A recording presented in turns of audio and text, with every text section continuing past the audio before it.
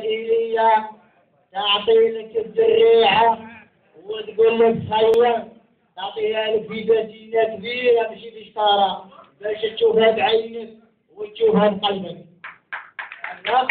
تعطي لك نشوة بسيلة كبيرة.